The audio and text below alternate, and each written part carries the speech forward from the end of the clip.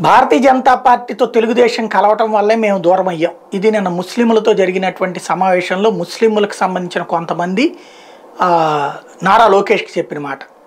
దానికి ఆయన ఇచ్చినటువంటి సమాధానం మా హయాంలో ఒక్క ముస్లిం మీదనన్నా దాడి జరిగిందా? అలాగే దేశంలో ఎక్కడన్నా జరిగితే మేము చూస్తా ఊరుకున్నామా? కాబట్టి మీరు ఆ రూట్లో ఆలోచించొద్దు. ఇప్పుడున్న ఈ ప్రభుత్వం ముస్లింలకు అరాచకం చేసేస్తుంది.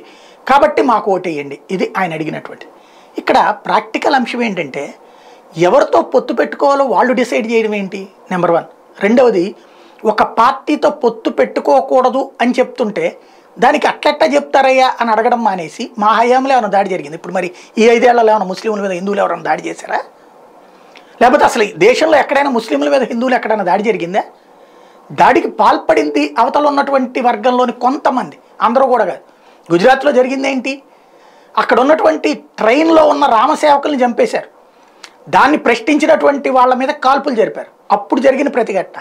దాన్ని ఒక్కదాన్ని చూపెట్టి ఇప్పటికి కూడా అప్పుడు కూడా చచ్చిపోయింది ముందు హిందువులు ఆ తర్వాత తిరగబడ్డటువంటి దాన్ని తప్పు కింద చూపించారు కానీ అసలు చచ్చిపోయిన హిందువుల గురించి మాత్రం చెప్పరు. ఇప్పుడు నిన్న ఆరు రాష్ట్రాల్లో దాడులు జరిగింది ఎవరి మీదన? శ్రీరామనవమి యాత్ర చేసుకున్నటువంటి హిందువుల మీదన? మరి అట్లాంటప్పుడు అదేదో హిందువుల మీద దాడి జరుగుతుంది చేసేటువంటి అంశాల గురించి మాట్లాడకుండా ఈ కోణంలో వివరణిస్తే ఏం చెప్తున్నట్టు మనం? లేదా భారతీయ జనతా పార్టీతో పొత్తు ఉండదని చెప్తున్నట్ట?